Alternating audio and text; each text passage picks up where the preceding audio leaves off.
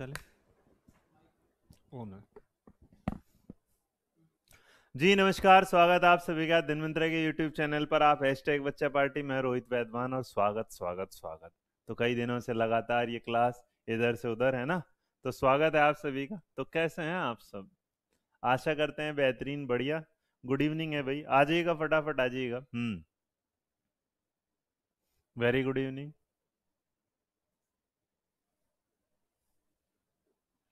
चलिए तो आ गए टाइम पर आप भी और हम भी, है ना? हाँ तो टाइम पे आए बिल्कुल एकदम। हर हर महादेव, जय हिंद जी जी जी जय हिंद। नए विद्यार्थियों का भी स्वागत है भाई। चलिएगा, देखेंगे, ये कुछ इंट्रोडक्शन क्लास होंगी जो आपके लिए, जिसे हमने नाम दिया फाउंडेशन क्लास और समय तो वो नहीं करेंगे। तो जो फाउंडेशन क्लास है, ये क्लास वन होगी, जिस पर आप बात करेंगे इंट्रोडक्शन ऑफ़ साइकोलॉजी वैसे तुम लोग इतने समझदार और हो चुके हो कि तुम्हें पता है क्या क्या चीज़ें कैसी कैसी हैं। लेकिन फिर भी कुछ मैंने सोचा, थोड़ा बहुत जानकारी, थोड़ा बहुत ज्ञान दे दिया जाए तो क्या फ़र्क पड़ता है? बढ़ जाएगी एडिशनल नॉलेज तो मतलब ठीक ही है। तो जब आप बात करेंगे एजुकेशनल साइकोलॉजी के इस इंट्रोडक्शन के साथ तो सबसे पहले कुछ चीज़ें आएँगी जिन पर हम बात करेंगे। और ये किस किस तरीके से है? Sir D S S P T G T की ऑल क्लास टाइम बताओ। Sonal Tyagi ji D S S का तो फ़िलहाल लाइव नहीं होता, है ना? वो ऑफलाइन क्लासेस नेक्स्ट वीक से हम शायद शुरू करने वाले हैं तो ये वाला, ठीक है? तो चलिएगा, आप लोग आ गए होंगे। आज थकान सी, अजीब सी थकान हो जाती है पूरे पूरे दिन में यार, पता ही नहीं चलता कब क्या चल रहा है।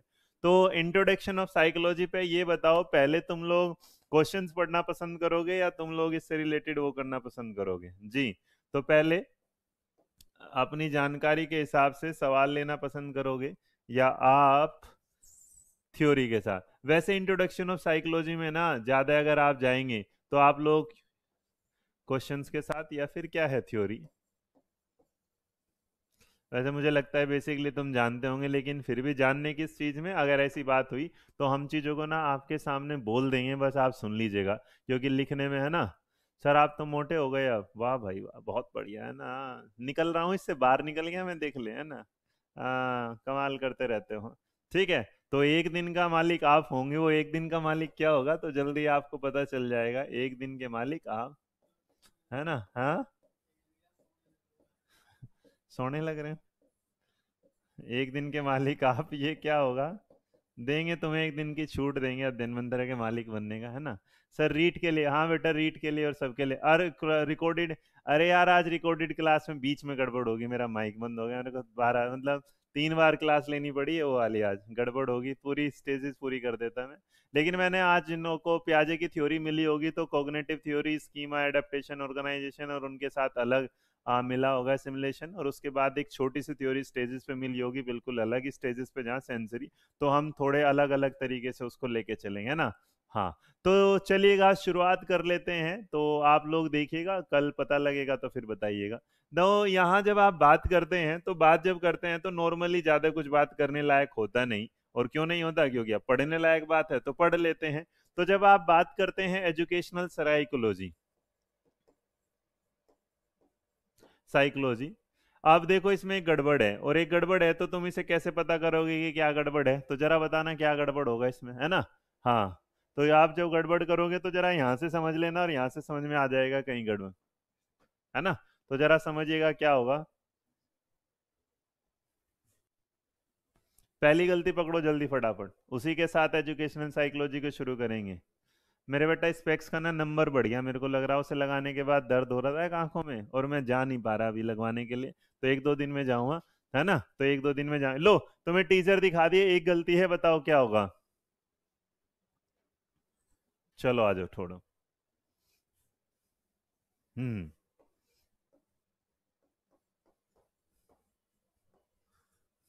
ठीक है जी। तो जब आप एजुकेशनल साइकोलॉजी शब्द के साथ जाते हैं, जिसे आप नॉर्मली जानते हैं, किस नाम के साथ? शिक्षा मनोविज्ञान। तो ये जो शिक्षा मनोविज्ञान वर्ड है तो मनोविज्ञान ना अपने आप में इतना बड़ा है कि अगर आप इसे लेके चलने लगे तो आप इसे ना दो तरीके से बांट देते हैं। एक बांटते हैं प्रैक्टिकल एक आप बांटते हैं प्रैक्टिकल और एक बांटते हैं रियल। अब प्रैक्टिकल, रियल, थियोरिटिकल क्या होगा? इसके बारे में धीरे धीरे आगे बढ़ेंगे और धीरे धीरे हम जानना शुरू करेंगे। जी हाँ स्पेलिंग का था तो यहाँ अब आपने देख लिया होगा P S Y C H O L O G Y बिल्कुल सही है। तो शिक्षा मनोविज्ञान के जब बात करते हैं तो सबसे पहले जो शिक्षा वर्ड आता है, वो आता है education E D U C A T I O N तो ये जो एजुकेशन शब्द है, ये जो मिला होगा तो एजुकेशन शब्द जो मिला है, ये दो शब्दों से मिलके बना। हम नॉर्मल शिक्षा मनोविज्ञान को किससे जोड़ के बना रहे हैं? दो, जिसमें एक का वर्ड है एजुकेशन और दूसरा है ये वाला। तो एजुकेशन शब्द का जो अनुवाद है, आप उसे एडुकेशन पढ़ते हैं, ये एडुकंटम तो इसे जब आप पढ़ते हैं तो ई, डी, यू, याद रखना ये ऐसा ही पढ़ा जाएगा जैसा ये है, लेकिन इसके बाद एडू का तुम। तो आप ये दिमाग में पढ़ लेना इसको इस तरीके से। तो एडू कार्टुम जब आप इसे पढ़ेंगे तो यहाँ तुम के साथ जब जवाब लगाएँगे तो इन शब्दों के जो मूल शब्द ई तथा डुको तो ये जो वर्ड बना है, ये दो वर्डों से लेके जाके चलता है, जिसमें आता है एक ई और दूसरा, ये वाला जो बेसिक है वो क्या है? ई तथा जो दूसरे वाला है वो है डी यू सी ओ अब ई का मतलब और डूको का मतलब जो होगा, उसी से आप समझते हैं एजुकेशनल साइकोलॉजी की बात। और इसके साथ ई का जो अर्थ होता है ई का जो अर्थ होता है वो एंटर होता है। यह समझिएगा क्या होगा एंटर या इसे आप समझ सकते हैं किसी तरीके से अंदर आना। तो इसका मतलब ये, और डूको का मतलब क्या है? निकल जा, बाहर हो जा। तो इसका मतलब क्या होगा? बाहर निकालना। अब ये डू आउट वाला, है ना? एंटर और आउट। तो इसका मतलब एक तरफ़ आपकी एंट्री है एक तरफ़ आपकी क्या है एग्जिट है। तो ये जो वर्ड है ये भी याद रखिएगा ये जिस वर्ड से लेकर बना है वो एक लैटिन वर्ड है। क्या है भाई? लैटिन। तो नॉर्मली अगर आप एजुकेशनल साइकोलॉजी के एडवांस पार्ट पर जाते हैं तो यहाँ बताते हैं शिक्षा का अर्थ जो है बच्चे की अंतर वाली चीज़ों को बाहर निकाला होगा। तो इसका मतलब इसे हिंदी में अगर बता, बात किया जाए तो अंदर से बाहर की ओर। इसका मतलब ये जो शब्द निकल के आया ये क्या कहलाता है? अंदर से बाहर। तो जो अंदर से बाहर वाली ये बात आपके सामने आई है तो इसका मतलब जो बच्चे के अंदर है, उन चीज़ों को बाहर निकालना और उसके बाद उसे नई चीज़ों के साथ आगे बढ़ाना तो ये जो कहता है कि बालक की अंतर्निहित जो क्षमताओं का प्रदर्शन करने की जो प्रक्रिया है, जो प्रोसेस है, वो हमेशा याद रखिएगा। वो एजुकेशन शब्द का मतलब निकलेगा ई का मीन एंटर डी का मीन एग्जिट ये वाली बात हमेशा याद रखिएगा। अगर किसी को स्क्रीन लेना है तो ये कहते हैं यहाँ, सर, स्क्रीनशॉट ये लिया जा सकता है, इसको थोड़ा सा छोटा करना पड़ेगा, क्योंकि यह दिनवंतरा का ऐप तो है नहीं जिसमें सिक्योरिटी के थोड़ी पाबंदियाँ हैं। है ना? तो यहाँ किसी को अगर इसका स्क्रीनशॉट लेना है तो वो बिल्कुल ले सकते हैं। लाइक शेयर सब्सक्राइब जिसको करना है, वो अपनी मर्ज़ी के साथ कर सकते हैं आगे की तरफ़। ठीक है? अब हम्म। ठीक है, इसका पीडीएफ बना सकते हैं। तो पीडीएफ बना के हम बच्चों को दे सकते हैं। ऐसा भी है? अच्छा। तो आज तक क्यों नहीं बताया तुम लोगों ने?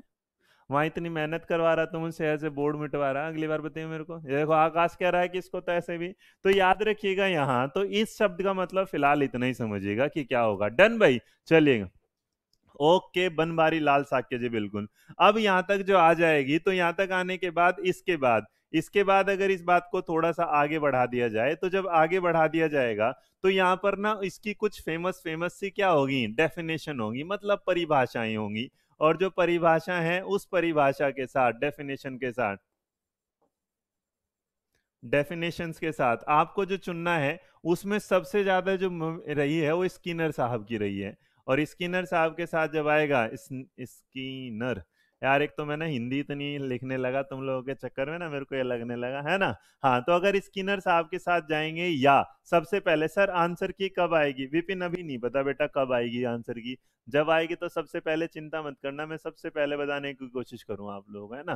तो जो डेफिनेशन है, इन डेफिनेशन में जब आप बात करते हैं तो आपने सबके साथ सुना स्किनर कहते हैं फलाना डिमकाना तो आपको ना एक चीज़ दिखाता हूँ जिससे आपको ये याद हो जाएगी, स्क्रीनशॉट आप वहीं से लीजिएगा। तो मैं आपके सामने एक सवाल ले देता हूँ। तो क्या कि भाई, हम लोग पढ़ेंगे ना, हम लोग जब पढ़ेंगे तो हम इन चीज़ों को रिलेट करते टाइम ये। अब देखिएगा, बेटा मेल का रिप्लाई कल तो मांगी है, कंटेंट के लिए धीरे धीरे आएगा। तो आपके सामने एक डेफिनेशन आती है, जिसका मतलब इनका आंसर वही है जो मैंने आपको बताया। तो आप इस का स्क्रीनशॉट ले सकते हैं, जिस पर आपके सामने द मोस्ट इंपोर्टेंट अगर आपके सामने है तो याद रखिएगा, ठीक है? हम्म तो यहाँ देखिएगा आगे तो आगे आपके सामने जो सवाल दिख रहा है कि education psychology is that branch of psychology, और देखिएगा जो भी अध्ययन मंत्र से जुड़ा बच्चा है और जो सारी चीज़ों को जानता है, देखिएगा मैं आपसे सिर्फ़ एक दरखास्त करना चाहता हूँ, आप लोग ना मतलब एक जो बच्चे हैं वो बेटा सीखने की उम्र के साथ हैं, आप उसमें बढ़िएगा। ना किसी को आपको कमेंट करना, कौन कहाँ जा रहा है, कहाँ आ रहा है। देखिए, जाने वाले को ना कोई रोक पाया और बुलाने वाले को कोई अगर बुलाएगा तो आएगा भी अपनी मर्ज़ी के साथ। तो प्लीज़ जरा समझिएगा कि अभी तुम लोग ऐसे शब्दों का यूज़ अगर एक टीचिंग चैनल पर करोगे ना तो जो भी बच्चा था कोई चुल पता नहीं किसी ने एक शब्द लिखा अभी मेरे को नज़रों में पूरा नहीं पढ़ पाया मैं तो ऐसे शब्दों का प्रयोग मत करिएगा जो टीचिंग से ना है ना? तो बिल्कुल आ, कोई बात है ना? जिजविशा इस बात को छोड़ दे मेरे बच्चे। कौन क्या कर रहा है तुझे क्या लेना तो अपने पढ़ने में ध्यान दे। छोड़ दे बिल्कुल यहाँ ध्यान दे। क्लियर? तो पढ़ने में ध्यान दो। तो जब आपके सामने ही आ रखे कि educational psychology is that branch of psychology which deal with teaching and learning तो ये याद रखिएगा ये तो अगर ये सवाल यहाँ पर आता है तो ये सवाल आपको देखने को मिलेगा यूपी टेट के एग्ज़ाम में, ये सवाल आपको देखने को मिलेगा रीट के एग्ज़ाम में और ये सवाल रिसेंटली आप देखेंगे तो यूके टेट के एग्ज़ाम में, उत्तराखंड टेट के एग्ज़ाम में। तो ये सवाल जो बेसिकली आते हैं तो इन चीज़ों को यहाँ ताकि मुझे लिखने की ज़रूरत ना पड़े, सीधा आप यही समझ लीजिएगा, है ना? हाँ तो याद रखिएगा कि जब भी कहते हैं शिक्षा मनोविज्ञान मनोविज्ञान की वह शाखा है जो शिक्षण एवं सीखने के से संबंधित है तो ये बता किसका तो दो वर्ड दिमाग में रखना यहाँ लर्निंग का। तो अगर टी और एल के बारे में बात करेगा, है ना? तो टी एल के बारे में याद करेगा तो इस बात को याद रखिएगा टीचिंग और लर्निंग के बीच में इस वाली बात को बताने वाले हमारे कौन है? स्किनर साहब है, है ना? अब अगर आप बढ़ेंगे तो प्लीज़ आगे आगे मत बढ़िएगा। आधुनिक विज्ञान के पिता कौन होंगे? बाल विज्ञान के पिता कौन होंगे? जेनेटिक एपिस्टोमोलॉजी के पिता कौन होंगे? सबको धीरे धीरे मिलेगा। अगर इस बात को भी ऑनलाइन वाले देखेंगे तो आज प्याजे की थ्योरी वो पढ़ेंगे तो उन्हें समझ में आ जाएगा कि किस तरह हमने उसे पढ़ाया है क्लियर तो अभी यहाँ पर इस सवाल का जवाब क्या होगा? स्किनर होगा ताकि हमेशा आपको क्या याद? लेकिन लेकिन लेकिन। अब एक बात जरा ध्यान रखिएगा, स्किनर के तो बारे में आपने वहाँ से स्क्रीनशॉट बाद में भी ले सकते हैं, लेकिन यहाँ याद रखिएगा, अगर आपकी अगर आपकी बॉडी और आपके माइंड दोनों से रिलेटेड कोई डेफिनेशन पूछेगा एजुकेशनल साइकोलॉजी की तो याद रखिएगा, उनका नाम है अरस्तु। क्या नाम होगा? अरस्तु। तो अगर कोई पूछेगा कि शिक्षा, अगर कोई पूछेगा ये वाली बात कि स्वस्थ शरीर से स्वस्थ मस्तिष्क का निर्माण होता है, यही शिक्षा का प्रारूप कहलाता है तो याद रखिएगा ये बात किसका है? एरिस्टोटल की। किसके साथ है? एरिस्टोटल। तो अगर आप लिखना चाहते हैं तो ये भी लिख सकते हैं, एरिस्टोटल। तो याद रखिएगा दो तीन बातों के दिमाग में कि अगर स्वस्थ शरीर है तो स्वस्थ शिक्षा होगी। ये वाली बात अगर आपके सामने कोई बोलेगा तो इसके बारे में बोलने वाले क्या होंगे? एरिस्टोटल मतलब क्या होंगे? अरस्तु होंगे। अरस्तु इस वाले बात में सबसे ज़्यादा बात करेंगे। लेकिन लेकिन लेकिन अगर इसी चीज़ के साथ, देखो, अगर आप इसी चीज़ के साथ आगे बढ़ेंगे आगे बढ़ेंगे तो याद रखिएगा बॉडी, उसके साथ मेंटल और उसके साथ आपका फ़िज़िकल, शारीरिक। अगर ये तीनों नाम आ जाएँ, स्वस्थ शरीर है, स्वस्थ मतलब शरीर शिक्षा जो है, शारीरिक, मानसिक और बौद्धिक, इसका मतलब इंटेलेक्चुअल सारी चीज़ों के साथ। तो मेरे बच्चे, याद रखना, इनका नाम होगा प्लेटो तो ये दो तीन डेफिनेशन के साथ हमेशा याद रखिएगा। मैं आपको डेफिनेशन पूरी याद नहीं करवा रहा, उस डेफिनेशन के चंक निकाल के आ रहे हैं, ताकि जो डेफिनेशन वाला पंगा है, वो भी क्या हो जाए क्लियर हो जाए। तो यहाँ पर याद रखिएगा, अगर आप कहते हैं टीचिंग और लर्निंग के बीच, मैं क्या बोल रहा हूँ? टीचिंग प्लस लर्निंग के बीच की बात करेगा। देखिए, ये डेफिनेशन में भी लिख के ला सकता था प्लेटो फलाना कहता है डिमकाना कहता है ये। तो मेरे बच्चे याद रखना, हम ना डेफिनेशन के एक नए तरीके से चलेंगे ताकि डेफिनेशन याद हो जाए और आपको इस शाम वाला सेशन ना, इसीलिए मैंने कहा कि अध्ययन मंत्रा का एजुकेशनल साइकोलॉजी का बेस्ट तब तक मत खरीदेगा जब तक मैं आपको इसके डेमो इसीलिए मैंने उसके डेट मतलब एग्ज़ाम की डेट नहीं बताई क्या है तो याद। तो हम डेफिनेशन के की पॉइंट याद करेंगे ताकि हमेशा याद। अब, अगर टीचिंग की और लर्निंग की बात करेंगे तो स्किनर याद रखना, बॉडी और माइंड की बात करेंगे तो एरस्तो याद रखना, बॉडी की, मेंटल की और फ़िज़िकल तीनों की बात करेंगे तो प्लेटो याद रखना। लेकिन एक बात याद रखना, अगर इसी चीज़ के साथ एक बात और जोड़ दे कोई साहब, और वो आके ये वाली बात बोल दे, ये वाली बात बोल दे कि भैया बॉडी तो थी, बॉडी तो थी, दिमाग भी था, मेंटल इसके था इसके साथ फ़िज़िकल भी था, लेकिन इसके साथ स्पिरिचुअल भी हो जाए। तो स्पिरिचुअल इसका मतलब अगर ये वाली बात आ जाए तो याद रखना ये हमारे कौन होंगे? गांधी जी होंगे। तो इसका मतलब जब आत्मा भी जुड़ जाएगी इसके साथ तो इसका मतलब यहाँ इस बात को अगर कोई लेके जोड़े तो याद रखना वो कौन होंगे? हमारे गांधी जी होंगे। इन बातों को हमेशा दिमाग में रख लेता। तो गांधी जी ने कहा है, शिक्षा से मेरा अभिप्राय मनुष्य के शरीर, आत्मा और मस्तिष्क के उसके सिलेक्शन के साथ होगा कि जब जुड़ जाएगा। तो इसका मतलब अगर स्पिरिचुअल आ जाए या फिर सोल के बारे में बात आ जाए, आत्मा के बारे में तो उसका नाम, उनका नाम क्या होगा? गांधी जी तो गांधी जी की इस डेफिनेशन को हमेशा याद रखिएगा कि वो किसके साथ जोड़ देंगे? वो आत्मा के साथ इन चीज़ों को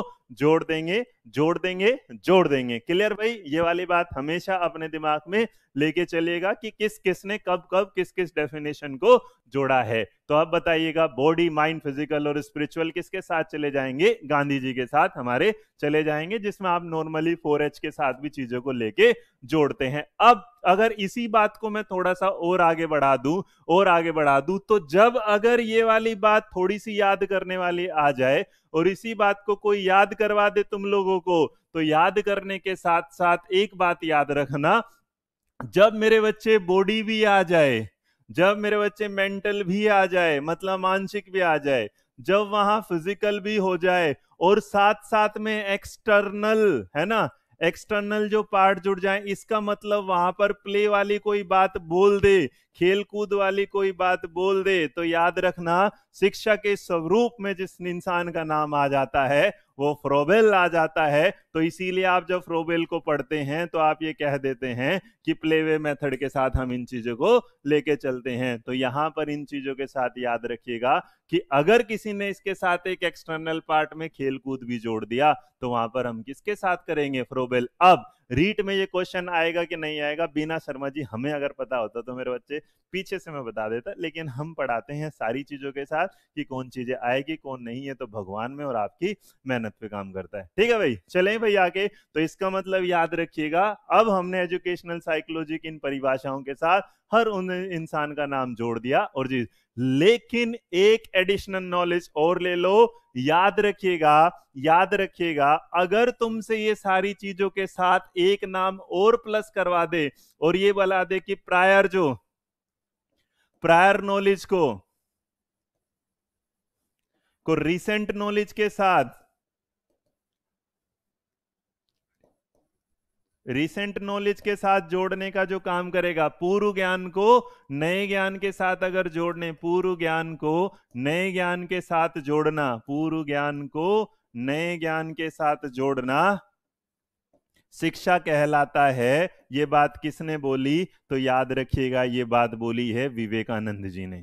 किसने? विवेकानंद जी ने। तो मेरे बच्चे, अगर कोई भी बात आ जाए तो दोनों तीनों चीज़ों को दिमाग में रखिएगा कि कब कब, किस किस ने कहाँ कहाँ पे जोड़ी थी। रीड मी सर स्टैंडर्ड हाई है।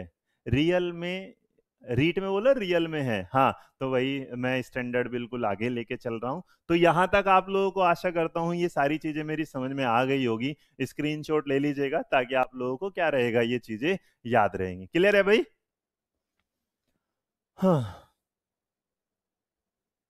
डन बोलो हाँ या ना?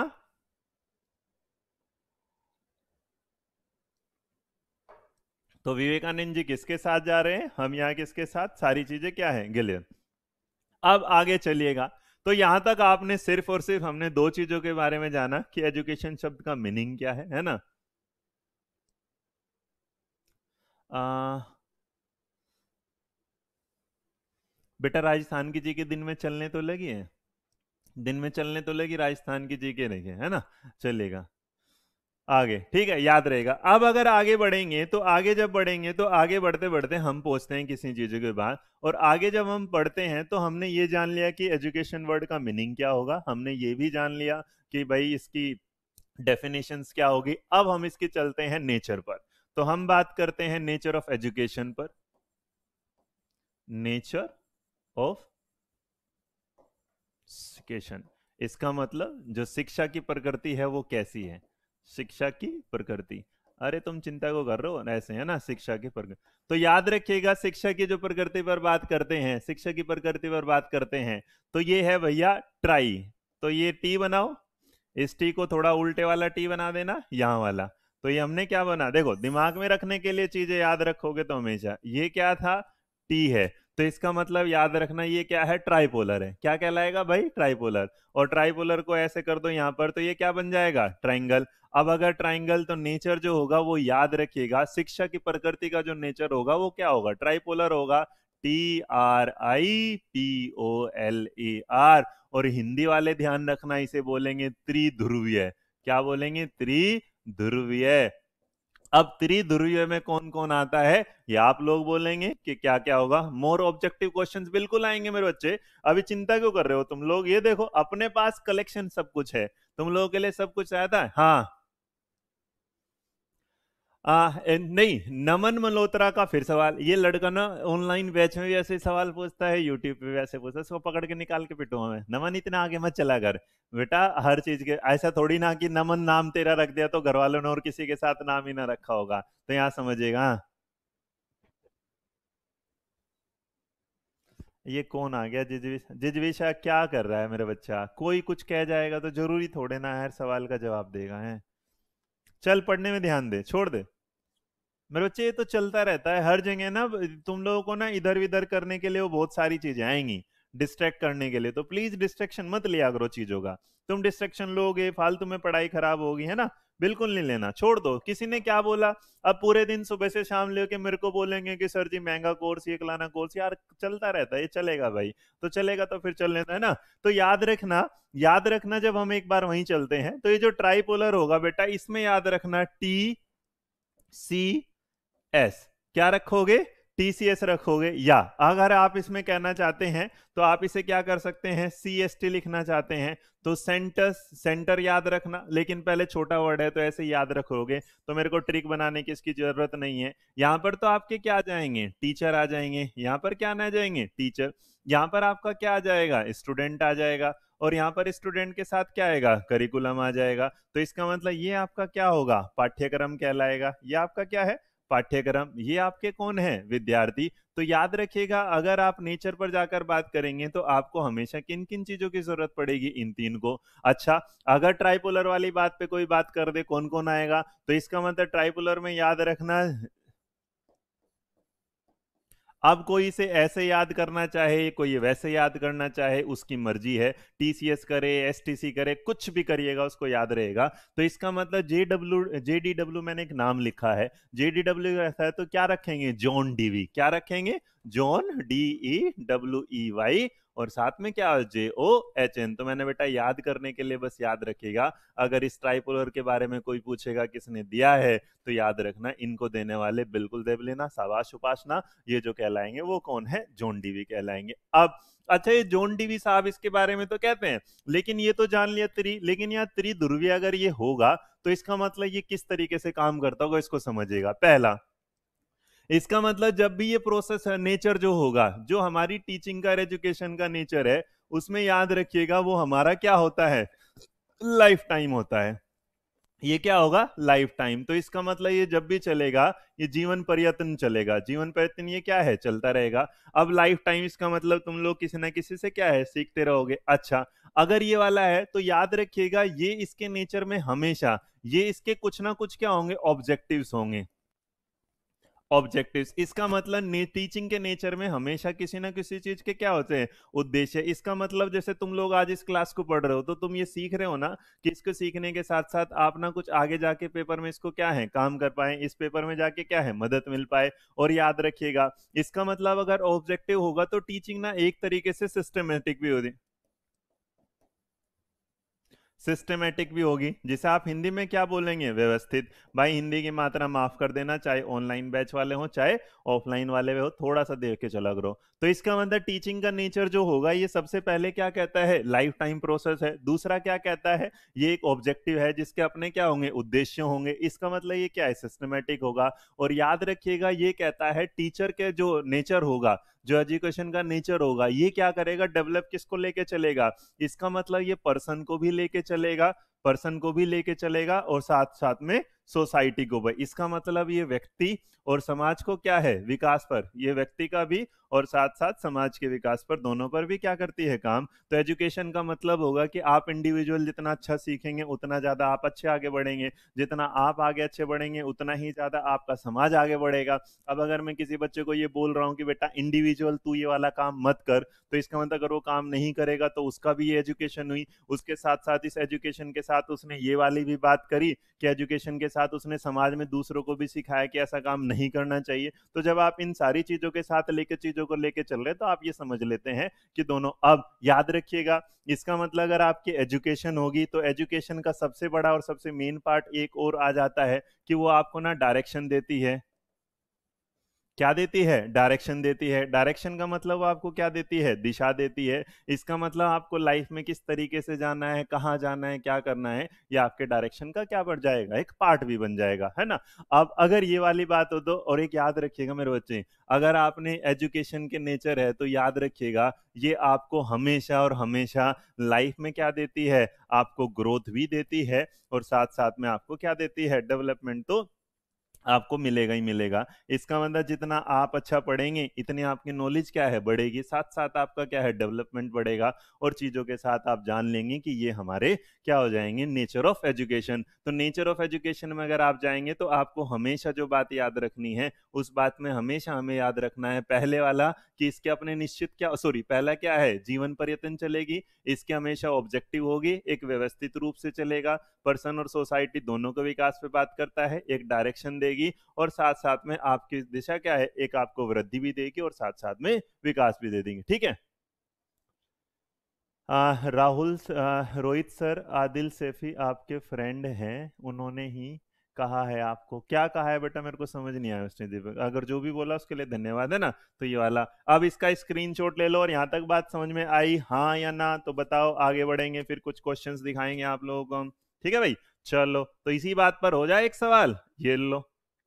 अब, अगर ऐसा कोई सवाल आ जाए, जो जैसा आपके सामने है फ़िलहाल तो एक परिभाषा और ले लेते हैं कि psychology first एवेंडेड is soul, then he renounce the mind, he then renounce consciousness, then now he accepted the method of behaviour. अर्थात सर्वप्रथम ये वाली बात कि मनोविज्ञान ने अपनी आत्मा का प्रत्याग किया, फिर उसने मन का त्याग किया, उसके बाद वो चेतना का त्याग करता है और फ़िलहाल वो आपके सामने, आपके व्यवहार में शामिल हो जाता है। तो ये बताइएगा कि आपके सामने ये चीज़ें क्या कहलाती है। जी तो आपके सामने अगर ये होगा तो ये क्या कहलाएगा? आपसे हमने यहाँ सवाल पूछा है, जल्दी जवाब दीजिएगा, क्या होगा? सवाल नंबर दो का जवाब। जी। हम्म। हाँ तो ऑप्शन नंबर एट अब देखो, जो दिमाग लगा के कर जाएगा, वो इस सवाल का बड़ा आसानी से जवाब देगा। और जो टेंशन लेके जाएगा, वो बोलेगा, अरे सर जी, क्या पढ़ा रहे हो तुम? काहे टेंशन दे रहे हो हम लोगों को? तो दिमाग वाले बहुत सारे बालक ये वाली बात बोलेंगे, दिमाग वाले बहुत सारे बालक ये वाली बात बोलेंगे कि सर जी एक बात है, देखो, अगर तुम सवाल पढ़ोगे तो यहाँ तो इस बात को, ये कह रहे हैं कि सर्वप्रथम मनोविज्ञान ने अपनी आत्मा का, इसका मतलब सबसे पहले वो क्या है, आत्मा का विज्ञान मतलब सोल का, उसके बाद फिर उसे क्या बोला गया, मन का, इसका मतलब माइंड तू भी जा भाई उसके बाद उसने कहा, चेतना भी क्या है? चली गई और लास्ट में उसने बोला कि, मैंने व्यवहार को अपनाया। तो बेटा, तुम लोगों का दिमाग में होगा तो ये सोरी वुडवर्थ है ना डब्लू है ना? टाइपिंग एरर हो जाता है। तो याद रखिएगा, तुम लोगों के दिमाग में आएगा। देखिए वटसन साहब ने इसको क्या बोला है? व्यवहार का विज्ञान बोला है। लेकिन इन्होंने इस बारे में जिसने डेफिनेशन दी है, उन्होंने जो डेफिनेशन दी है, वो क्या है? वुडवर्थ है। तो इस सवाल को हमेशा याद रखिएगा कि तुम्हारे दिलो दिमाग में व्यवहार को देखते ही हमेशा एक ही नाम याद आ जाता है, एक ही नाम याद आ जाता है कि ये क्या है? वॉटसन ने बोला होगा व्यवहारवाद के व्यवहारवाद के बारे में। लेकिन याद रखिएगा, अगर ये डेफिनेशन मोस्ट इंपॉर्टेंट डेफिनेशन के साथ इसे याद रखिएगा तो ये किसने बोला है? वुड्सवर्थ साहब ने बोला है। क्लियर है भाई? चलेगा तो आगे बढ़ेंगे और आगे बढ़ेंगे तो आगे बढ़ते टाइम एक सवाल देखते हैं जो हमारे ट्राइपोलर से जुड़ता है ट्राइपोलर ये रहा। A teachers knowledge of psychology is necessary because knowledge of psychology give teachers मतलब एक शिक्षक को मनोविज्ञान का ज्ञान आवश्यक है, क्योंकि मनोविज्ञान के ज्ञान से शिक्षकों को क्या होगा?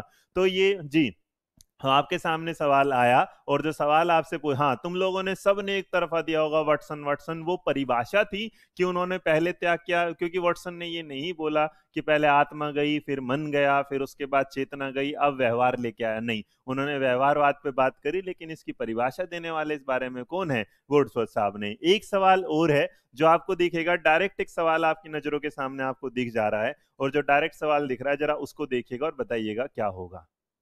हम्म।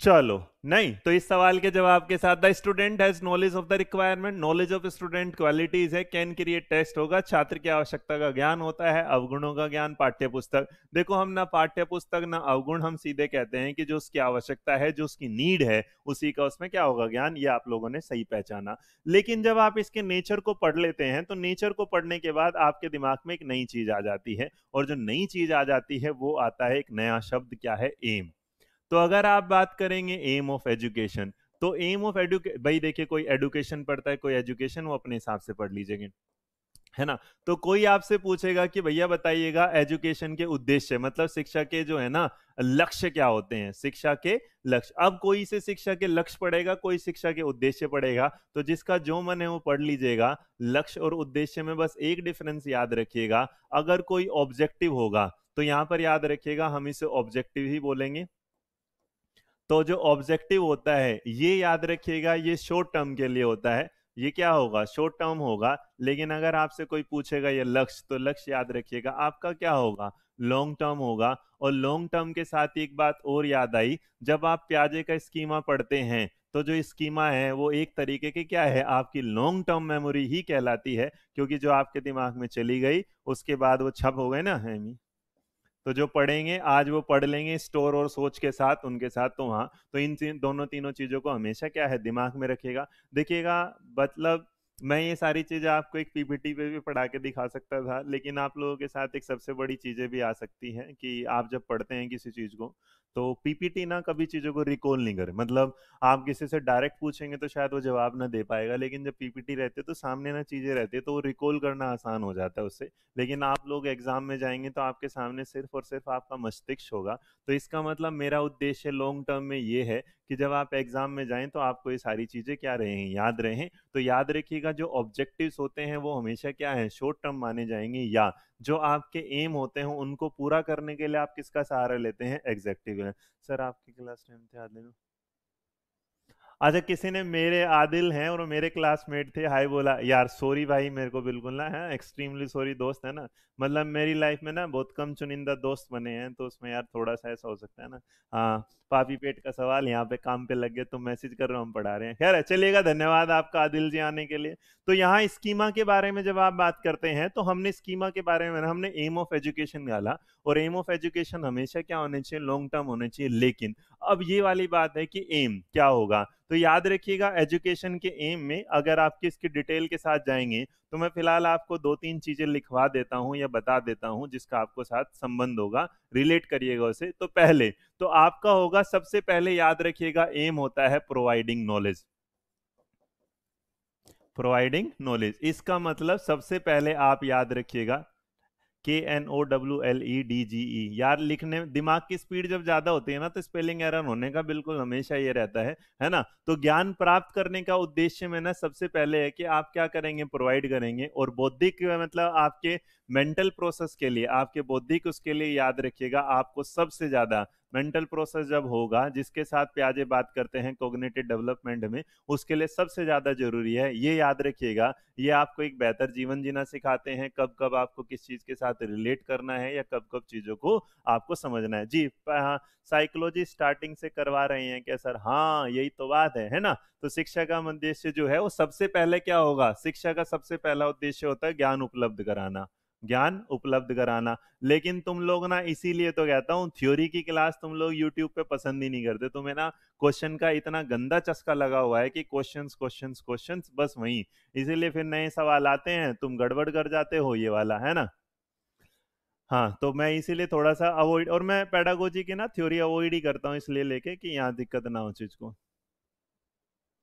आ, बेटा वहीं जाके देखिए सीडीपी बाई रोहित सर वाला जो सेक्शन है ना उसमें देखना। प्याजे की दो छोटी एक वीडियो मिली होगी। एक उसमें कोग्नेटिव डेवलपमेंट के बारे में है फिर उसके बाद स्कीमा एडेप्टेशन ऑर्गेनाइजेशन के बारे में फिर तीसरी जगह जब देखोगे तो वहाँ जाके सेंसरी मोटर स्टेज का है बाकी का फिर कल आएगा। ठीक है चलेगा। अरे चेक तो करो सब कुछ है वहाँ सब कुछ है। डिस्टर्बेंस कोई नहीं मनीष अब होने वाला है। तो याद रखिएगा तो आप अगर इसमें जाएँगे तो चलो भाई तुम लोगों को अगर क्वेश्चंस करने हैं तो ये लो, ठीक है? यहाँ लो, फिर इसमें भी मैं छोटा छोटा सा तुम लोगों को अलग से दिखा दूँगा। आगे देखिएगा आपके सामने एक सवाल आ गया, अब देखो इस सवाल का कोई जवाब नहीं दे पाएगा। क्यों नहीं जवाब दे पाएगा? क्योंकि उसने पढ़ी नहीं होगी। अब सवाल देखो क्या है? इन which sector in which sector मनोविज्ञान के किस संप्रदाय में तथ्यात्मक एवं वस्तुनिष्ठ विधियों के अध्ययन के रूप में विनियोग दिया गया। In which sector of psychology या in which part of psychology has the use of the study of factual and objective method has been emphasised बताओ जरा किसमें दिया गया होगा। मनोविज्ञान के किस संप्रदाय में तथ्यों पर और किस क्या है? ऑब्जेक्टिव उस पर विधियों पर ज़्यादा ध्यान दिया गया है। तो बताइएगा क्या करेंगे, है ना? यहाँ बताइएगा। क्वेश्चन देख लो, कोई बात नहीं। हाँ मीना शुरू से कर रहे हैं। ना ना, नमन, सब बताऊँगा अभी तो बहुत सारी चीज़ें आएँगी, ऐसे कैसे बता दूँ? बिना सीक्वेंस के कुछ नहीं जानेंगे सीक्वेंस के साथ धीरे धीरे जानेंगे। तो एम ऑफ़ एजुकेशन में अगर आप बात करेंगे, मैं आपसे कहता है ये वाली बात तो वो पढ़ेंगे फ़िलहाल इस सवाल का जवाब दीजिएगा, जो आप लोगों के सामने हमने सवाल नंबर चार दिया है। बताइएगा इन विच हम्म।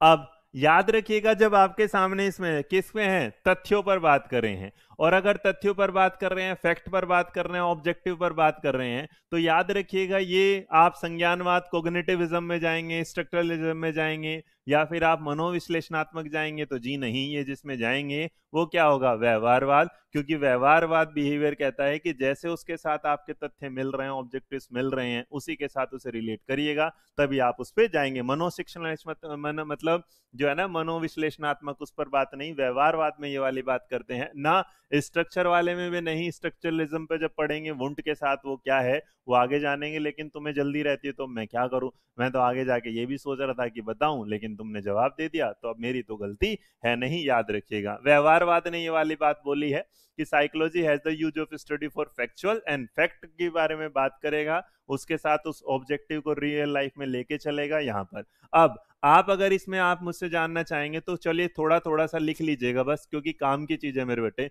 प्रोवाइडिंग नॉलेज होगा यहाँ पर, है ना? और याद रखिएगा, आपकी लाइफ में आप आगे जाएँगे, ये भी इसका मतलब होगा। आप चीज़ों को क्या रखेंगे? बैलेंस रखेंगे, वो भी होगा। आपका कैरेक्टर अच्छा रहे, ये भी एजुकेशन का। तो बेसिक बेसिक से एम होते हैं कि एक बच्चे का कैरेक्टर आ जाए, एक बच्चे की लाइफ अच्छी चले जाए, आपके जीवन में सब कुछ आपको अच्छे से मिले।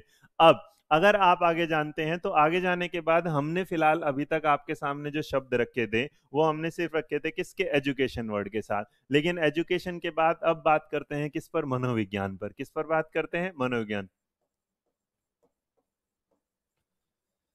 मनोविज्ञान। तो जब आप बात करते हैं साइकोलॉजी तो यहाँ पर जो मीनिंग है, क्या है? मनोविज्ञान का मतलब जो है तो जो साइकोलॉजी वर्ड है, इसका मतलब मनोविज्ञान का जो अर्थ होगा अब मैसेज कम करो, जरा ध्यान दो यहाँ। मनोविज्ञान का अर्थ। तो जो मनोविज्ञान का अर्थ अगर कोई तुमसे पूछेगा तो इसका मतलब आप में से मैक्सिमम लोग तो जानते हैं, ये बटा है दो शब्दों के साथ, थ्योरी चलती रहेगी। तो बताइएगा तो अवल बताइएगा कि जो है, ये वाले बात कि जो साइकोलॉजी वर्ड है, ये दो शब्दों से मिलकर बना है, और जो दो शब्द मिलकर बने हैं, जरा फटाफट बताइए किस किस के साथ होगा। चलिए, फटाफट। हम्म P, S, Y, C, H, E, एक तो ये वाला वर्ड होगा P S Y C H E और दूसरे वाला वर्ड क्या होता है? Logos L O G O S तो अगर इन दोनों को याद रखेंगे तो इन दोनों के साथ, जी हाँ साइकोलॉजी किससे है? बेटा, वो समझने वाली बात जो लेट आएँगे तो कैसे करवाएँगे, है ना? क्वेश्चन के साथ भी ये भी हम्म। चलो। हाँ बेटा, मिशा सावा करवा रहा हूँ, उसमें भी करा दूँगा हाँ बना बनबारी लाल बेटा, ये सौ नंबर तो सब में काम आएगा। ये सौ नंबर तो क्या आएगा? सब में काम आएगा, याद रखिएगा। अच्छा अगर तुमसे कोई पूछे कि जो साइकोलॉजी वर्ड है, उसका ओरिजिन जो है, उसका जो उत्पत्ति है, उसकी उत्पत्ति कौन से सब्जेक्ट से हुई है तो ये सवाल अगर आप देखेंगे तो ये सवाल है डीएसएसबी के ना पीआरटी के 16 बाय 17 वाला एक पेपर था तो उसमें सवाल आया था। कि ये पूछ लिया गया कि साइकोलॉजी जो शब्द है, इसकी उत्पत्ति कौन से सब्जेक्ट से हुई है? तो बताइएगा क्या? आत्मा का विज्ञान तो यहाँ आ ही जाएगा, शुरुआत में बोलेंगे, है ना? आत्मा का विज्ञान और कोई बोलेगा एपिटमोलॉजी ये फलाना, अरे वो बाढ़ में जाए, क्योंकि बाढ़ में जाने का मतलब यहाँ के बोल क्योंकि वो सवाल ही नहीं पूछे जाते बेटा, ठीक है? तो अगर आपसे कोई पूछेगा मनोविज्ञान का क्या होगा तो मनोविज्ञान का अगर कोई पूछेगा ओरिजिन किस सब्जेक्ट से हुआ है तो याद रखिएगा है फिलोसफी क्या होगा? दर्शन शास्त्र के साथ।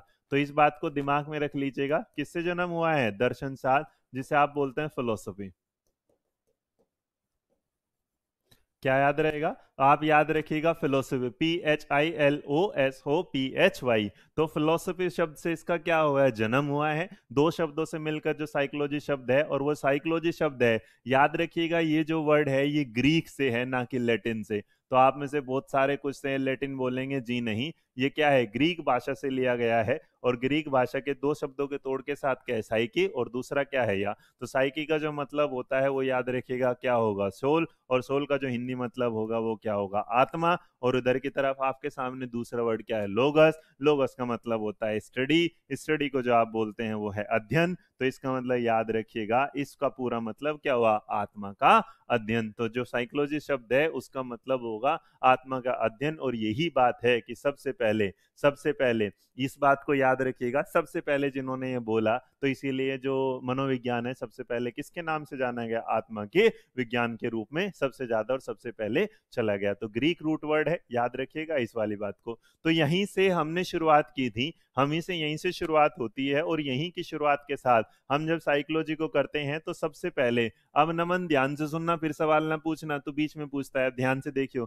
तेरे हर एक सवाल का जवाब आना शुरू हो जाएगा। ठीक है? Prashank ji what uh principle of learning मतलब आप किस प्रिंसिपल ऑफ़ लर्निंग के बारे में बात कर रहे हैं, दोस्त? है ना? यहाँ तो सबसे पहले आत्मा के रूप में आया तो इसका मतलब सबसे पहले जब इसे बात करते हैं तो मनोविज्ञान को किसके बारे में बोला आत्मा का विज्ञान। तो आत्मा का विज्ञान अगर बोला गया तो ये तो हमने समझ लिया क्यों बोला गया। लेकिन आत्मा का विज्ञान इन्हें देने वाले साइकोलॉजी स्टडी ऑफ़ सोल जो बोला गया, क्या बोला गया? स्टडी ऑफ़ तो ये, अब अगर मैं तुमसे ये वाली बात पूछूँ कि इस वाले शब्द को प्रयोग करने वाला है या इस बात के बारे में बताने वाले कौन थे? आत्मा का अध्ययन के बारे में सबसे पहले क्योंकि अगर कोई पूछेगा तो याद रखना क्योंकि आत्मा का विज्ञान शब्द जो है, आत्मसाई के जो शब्द है, वो कहाँ से लिया गया है? ग्रीक भाषा से। तो इसका मतलब इसके बारे में सबसे पहले बात करने वाले भी जो लोग थे, वो कौन थे? ग्रीक ही थे। तो याद रखिए, है ना? याद रखिएगा, सबसे पहले क्या है? ग्रीक दार्शनिक थे जिसमें आप प्लेटो और एरिस्टोटल का नाम लेते हैं। याद रखिएगा तो आप इसमें याद रखिएगा एपी आंध्र प्रदेश याद ना रखिएगा। मैं आपको क्या बता रहा हूँ, याद करने के लिए क्या है एपी एपी का मतलब जिस, जिसको याद रहेगा, एरिस्टोटल। एरिस्टोटल और साथ में क्या है? प्लेटो। तो इन दोनों नामों को याद रखिएगा। आत्मा के विज्ञान के साथ इन दोनों का नाम हमेशा क्या हो, जुड़ा रहेगा, जिसमें आप अरस्तुर किसको नाम लेके प्लोटो ने, जिन्होंने इसे बताया और कहा। लेकिन इसके बारे में ये रिजेक्ट क्यों हुआ? क्योंकि जो आत्मा है जो आत्मा है उसको देखा नहीं जा सकता। देखा नहीं तो इसका मतलब जो देखा नहीं जा सकता तो इस वजह से फिर इसको क्या कर दिया गया? रिजेक्ट कर दिया गया। और देखिए, इस चीज़ पे हम इतनी बात इसलिए भी नहीं करते, बस हमें ये वाली बात जानने की ज़रूरत होती है कि क्यों, कहाँ से, कैसे कैसे शुरू हुआ है तो इस बात को दिमाग में रखिएगा, क्योंकि आत्मा का विज्ञान नेग्लेक्ट कर दिया गया, खत्म कर दिया गया तो इस पर कोई बात करने की ज़रूरत भी नहीं बनी। तो यहाँ पर इन दर्शनों ने जो क्या हुआ, आत्मा का किसी के पास कोई ठोस सबूत नहीं था, आत्मा क्या है, क्या नहीं है तो इसे रिजेक्ट कर दिया गया। जैसे ही इसे रिजेक्ट कर दिया गया, इसके साथ ही आया, किसके साथ? माइंड के साथ। तो आप जानते हैं फिर ये क्या कहलाया? मन का विज्ञान। और इतनी सारी चीज़ों के साथ आप सारे लोग जानते हैं। तो क्योंकि मैंने अभी आपसे जब सवाल पूछा था तो यही आपको एक जानकारी दी थी ये वाली, ताकि आपको ज़्यादा जानने की ज़रूरत ही ना हो। तो सबसे पहले क्या रहा है ये आत्मा? उसके बाद क्या हुआ? मन? उसके बाद क्या है? चेतना? और लास्ट में हमारे पास ये क्या कहलाया? हमारा व्यवहारवाद का तो बिहेवियर का, व्यवहार का। तो इसलिए इन चीज़ों को समझने के लिए हमें डिटेल में जाने की ज़रूरत नहीं है। लखन सक्सेना, आप जो पूछ रहे हैं, मेरे को समझ में नहीं आ रहा। ठीक है? एपी में याद रखिए एपी से क्या रहेगा? एरिस्टोटल ए से याद रहेगा और पी से याद हमें किसको करना है? फ्लडना, है ना? आपकी आत्मा। बिल्कुल सही बात जिजविशा ने बिल्कुल एक ट्रिक लगा दी कि आपकी आत्मा तो जो आपकी आत्मा है, उसके साथ आप इसे समझ सकते हैं। क्लियर? अब अगर आप मन के विज्ञान के बारे में बात करेंगे तो मन के विज्ञान के बारे में बस मैं इसलिए बता रहा हूँ ताकि आपको ध्यान रहे। तो मन के विज्ञान में जिन साहब ने बात कर दी थी तो उन साहब का जो नाम था, वो कांत था। तो जिनका क्या नाम था? कांत था, के ए एन टी। तो इन्होंने इसके बारे में बहुत सारी बातें की, के ए एन टी, और नॉर्मली से क्या लिखेंगे? कांत। तो कांत ऐसे भी अंकी बिंदी लगा के लिख लेना, या वैसे जैसे भी तुम लोगों का मन करे तो और याद रखिएगा, अगर इसके बारे में तुमसे कोई पूछेगा ये कौन थे तो याद रखिएगा जर्मन थे। ये क्या थे? जर्मनी के थे। तो जर्मनी के थे ये तो यहाँ, क्योंकि अभी जर्मनी के बाद जब आगे बढ़ेंगे तो आप विलियम मुंड के पास पहुँचेंगे, उनकी लैब के साथ पहुँचेंगे यहाँ। मन में चेतन और अचेतन का खुशबू वर्मा ठीक है? तो कैंट जो साहब है, उसके बारे में याद रखिएगा। कांत लिखिए कैंट लिखिएगा, इसके बारे में यहाँ। लेकिन फिर भी है, क्योंकि मन भी किसी के सामने स्पष्ट नहीं आता, मन में अशांति रहती है, चेतन है, अचेतन है तो मन को भी लेके इसलिए कंफ्यूजन रहेगी इसने भी कोई डायरेक्ट या चीज़ों के बारे में वो नहीं बताया। कि भाई डायरेक्ट कैसे निकल पाएगा, मन को कैसे देखा जाएगा, मन में अशांति है, आप सामने तो हँसी दिखा रहे हैं, लेकिन मन में आपके चल रही है द्वेष की चल आजा मिल जा, तेरे को यहाँ से फेंक दूँगा, वहाँ से फेंक दूँगा। तो ये बहुत सारी चीज़ें चलती रही और धीरे धीरे इस चीज़ के साथ भी क्या कर देगा इसे रिजेक्ट कर दिया गया और अगली बार ये जो चला, ये क्या है? चेतना का। और जो चेतना के साथ आते हैं, जो चेतना के साथ आते हैं तो चेतना का जो विज्ञान, चलो बताना जरा, चेतना का विज्ञान किसने बोला इनको? बताना जरा, चेतना का विज्ञान किसने कहा? ये चेतना का विज्ञान है, यहाँ पर जो बात हुई है, किसने कहा? बताना जरा, इसको थोड़ा सा ऊपर ले लेता हूँ मैं। ठीक है? मन के बाद, माइंड के बाद, चेतना का किसने बोला? बताना जरा। हम्म। एकांत मन में कांत करो साबास हाँ बेटा रीट के लिए भी है, अलग से बताना पड़ेगा कि रीट ठीक है बेटा जो जो गुड नाइट में अपना जाओ आराम हम्म।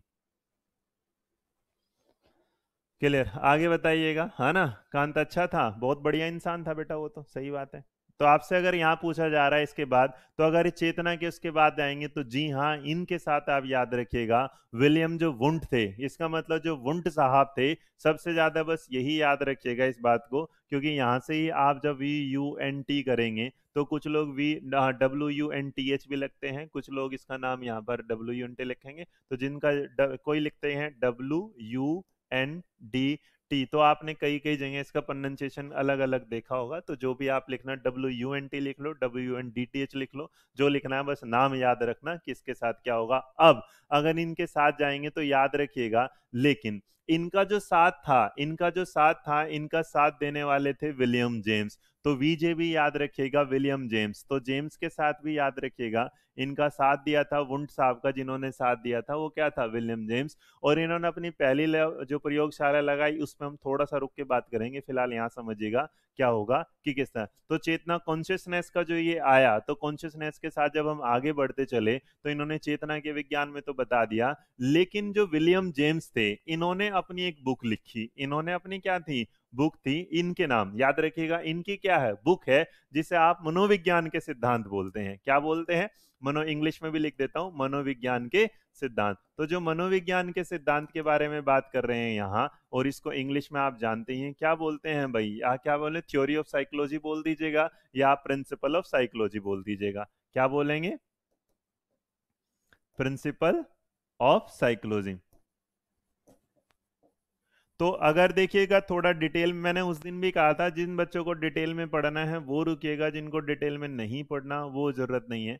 तो आप जब बात करेंगे तो विलियम जेम्स ने, याद रखिएगा, बहुत से जैसे हेमलता बोले विलियम वुंट की बुक। तो एक बार करेक्शन कर लीजिएगा बेटा, विलियम वुंट की नहीं, ये क्या होगी, विलियम जेम्स की होगी। विलियम जेम्स की याद रखिएगा, विलियम जेम्स की याद रखिएगा, विलियम जेम्स ने अपनी पुस्तक लिखी थी, और जब लिखी थी, वो 1890 में लिखी थी, प्रिंसिपल ऑफ़ साइकोलॉजी में सबसे पहले इस बात के बारे में बोला कि जो मनोविज्ञान है वो क्या है? चेतना का विज्ञान है। याद रखिएगा इसको।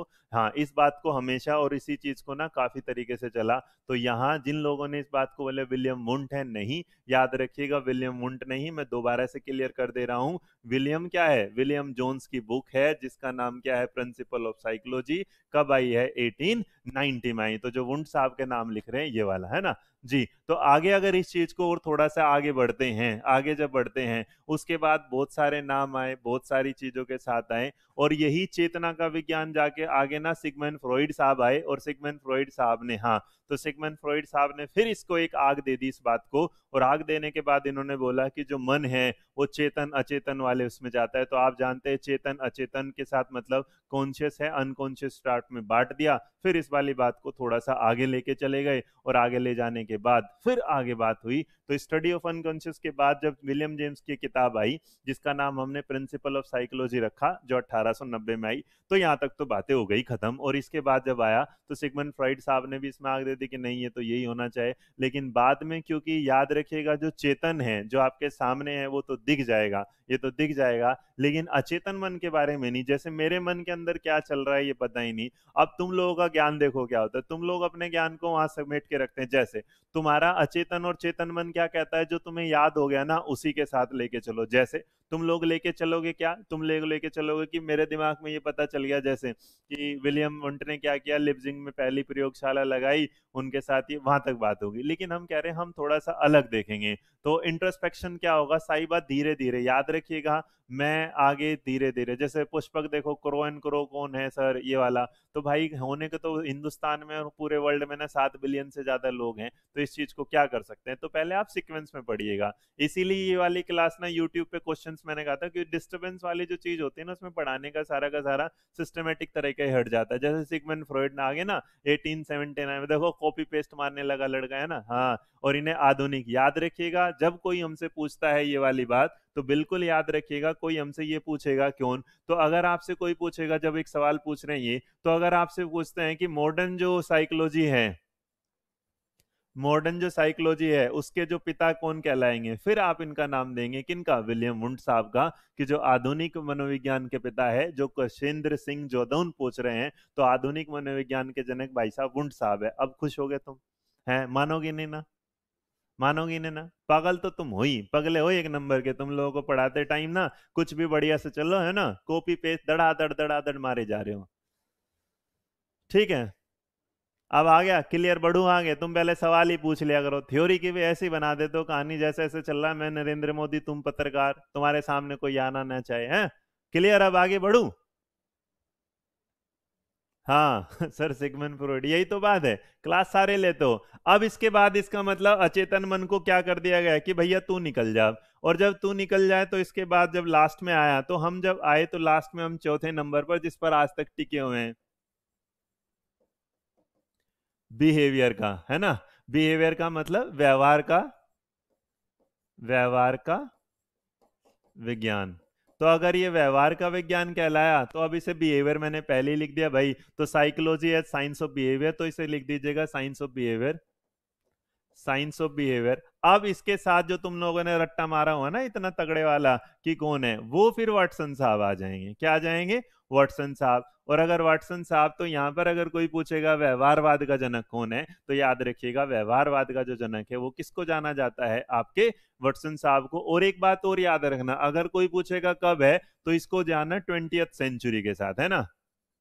तो बस याद रख S E N T U R Y भाई बोलते टाइम हो जाती हैं। तो 20वीं शताब्दी के आरंभ में इस वाली बात के साथ की क्या होगा, व्यवहारवाद का होगा और व्यवहारवाद के साथ आगे बढ़ता रहा और आगे बढ़ता रहा तो इसे देने वाले के स्टडी ऑफ़ बिहेवियर जिसने बोला वो है जेबी वाटसन साहब और जेबी वाटसन साहब ने, उन्होंने ना इसको क्या था, इसका पॉजिटिव साइंस ऑफ़ बिहेवियर एक नाम और याद रखिएगा, अगर कोई पूछेगा किससे पॉजिटिव हाँ तो क्या मैं बोल रहा हूँ पॉजिटिव साइंस ऑफ़ बिहेवियर हमेशा याद रखिएगा अगर इसमें साइंस ऑफ़ बिहेवियर तो अगर कोई नॉर्मल पूछेगा तो व्यवहार का विज्ञान, लेकिन अगर कोई बात करेगा तो पॉजिटिव साइंस ऑफ़ बिहेवियर के नाम से भी। अच्छा अगर इसके जाने जाएँ तो फिर याद रखिएगा, शुद्ध विज्ञान है। मनोविज्ञान, व्यवहार का शुद्ध विज्ञान है, बिल्कुल ये वाली बात। इस वाली बात को याद रखने के लिए धन्यवाद। शुद्ध होगा, परिशुद्ध होगा, कैसा होगा? अभी कुछ सवाल और आपके सामने आएँगे हैं। तो अगर यहाँ पर इस बात को आगे रखें तो आउटलाइन साइकोलॉजी की चलती रही, सामाजिक मनोविज्ञान का परिचय भी चलता रहा, लगातार इस पर बात होती रही। बात होते होते धीरे धीरे जब आप बढ़े तो बढ़ने के बाद आपने साइंस में इसमें ना, इसके बाद बहुत सारे लोग आए जिन्होंने इनका फेवर किया मैकडुअल साहब आए, उन्होंने इसका फेवर किया। उसके बाद प्लेसरी ने किया साथ साथ में लास्ट में जब आए तो पेस्टोलॉजी भी इनके फेवर में आ गई।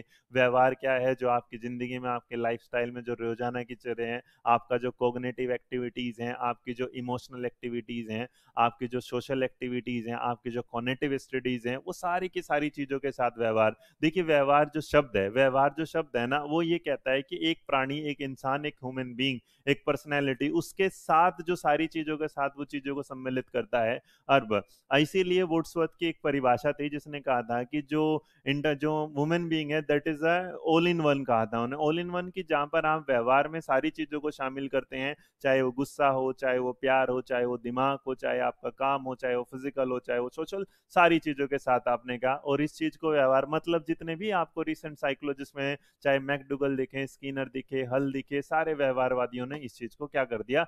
आगे बढ़ाया। और आगे बढ़ने के बाद आपसे सामने कुछ सवाल हम ले आते हैं, ताकि आप उन चीज़ों को समझे, जैसे ये।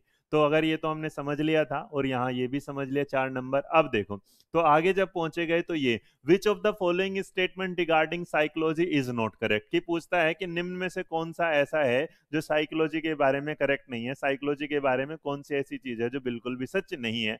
तो मनोविज्ञान की कुछ परिभाषाएँ हैं जिनको भी हम जानेंगे डेफिनेशन उनके साथ कुछ याद कराने की ट्रिक बताने वाला हूँ ठीक है? आ, माही चौधरी क्रिएट बेटा ऐप पर क्लास हुई है देखो तो जाके तुम देखते हो नहीं है ना? पढ़ाई वढ़ाई करने रहे। धन्यवाद सिगमेंट फ्रॉइड जी।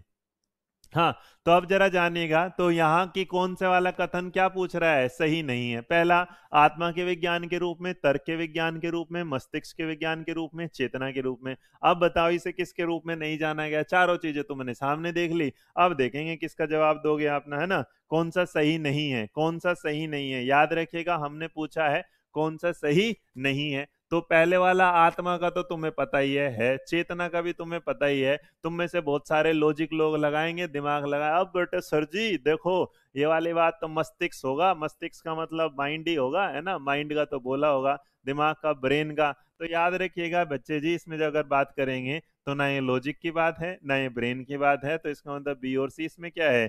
सही उत्तर का दिए गए में सही उत्तर का चयन कीजिएगा।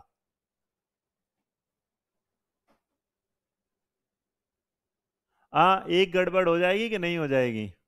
नॉर्मली फिर इसे माइंड के साथ जाएँगे तो फिर भाई एक बात देखनी पड़ेगी, यहाँ पर ना आपको थोड़ा सा बदलना पड़ेगा ऑप्शन के साथ। देखो जरा ध्यान से देखो, एक ऑप्शन के साथ गड़बड़ होगी, उस गड़बड़ को जरा पढ़िएगा, है ना? सबने आंसर कुछ और लगा दिया, ऊपर कुछ और है, नीचे यहाँ पर कुछ select the correct answer from the code नीचे में से चुनना पड़ेगा भैया आपको, है ना? तो नीचे में से चुनना पड़ेगा तो बताइए कौन सा सही नहीं है, फिर एक बार देखिएगा ध्यान से।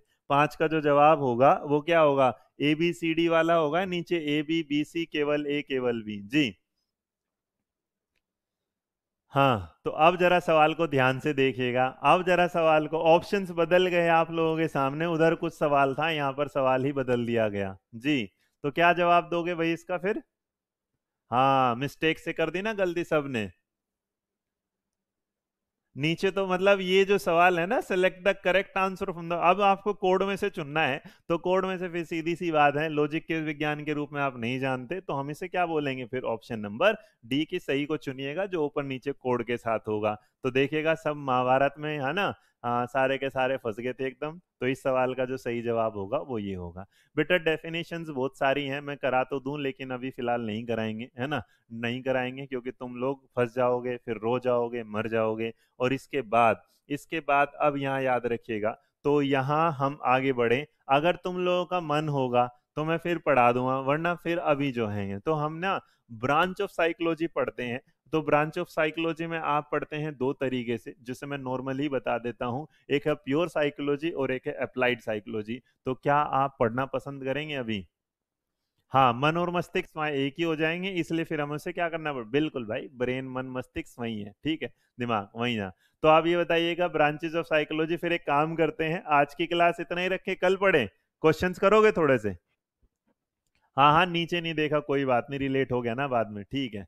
जो नहीं फंसा वो बहुत बढ़िया। तो ब्रांच ऑफ़ साइकोलॉजी में प्योर साइकोलॉजी पढ़ते हैं अप्लाइड साइकोलॉजी पढ़ते हैं। डेफिनेशन याद नहीं रहती, कुछ के तरीके मैंने याद दिलाए थे, कुछ के बाद में। तो एक बार दो चार क्वेश्चंस और कर लो, ताकि थोड़ा सा मोटिवेशन आ जाए। ये रहा education psychology is related to कि जो शिक्षा मनोविज्ञान है, वो किस चीज़ से संबंधित है? शिक्षा का जो मनोविज्ञान है, वो किस चीज़ से संबंधित है? जल्दी बताइएगा, क्या होगा इस सवाल का सही जवाब? हाँ जी। कंटिन्यू ठीक है कंटिन्यू चल रहा है, बताते चलो। चाय ठंडी होगी यार हमारी तो। हम्म। ठीक है, पढ़ा रहे हैं, अभी चलेगा।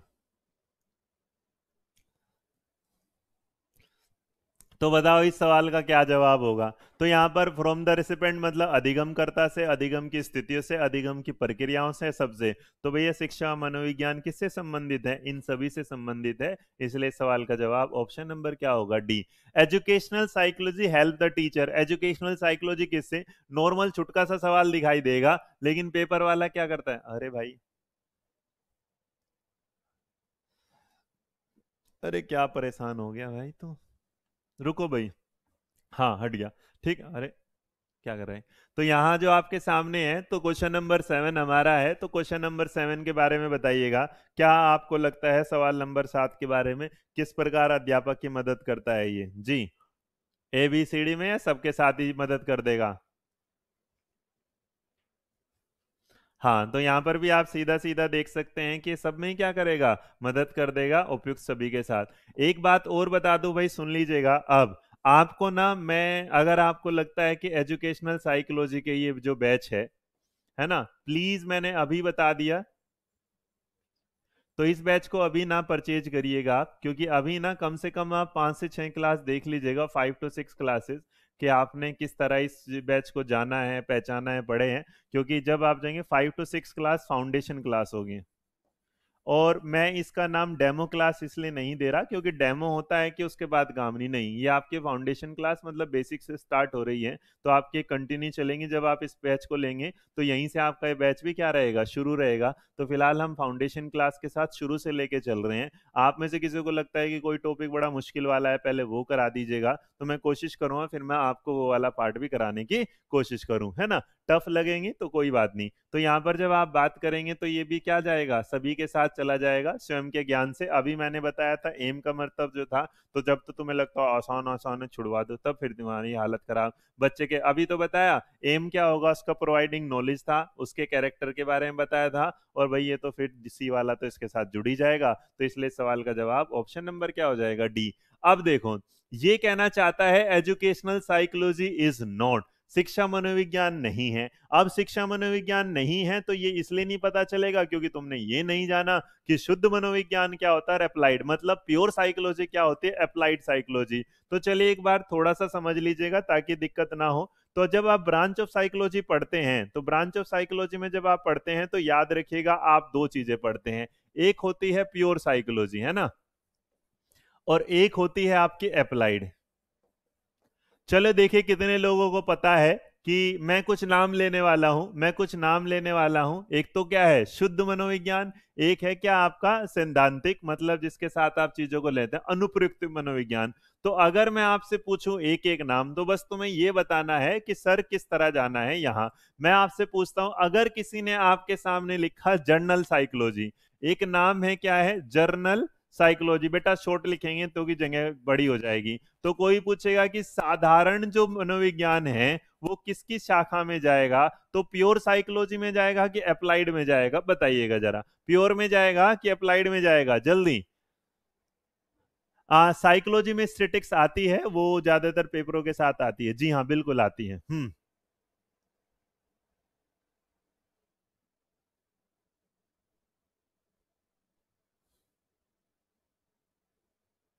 अब तुम लोग एक बात मुझसे पूछ सकते हो, सर जी, ये शुद्ध का और उसका मतलब क्या होगा, है ना?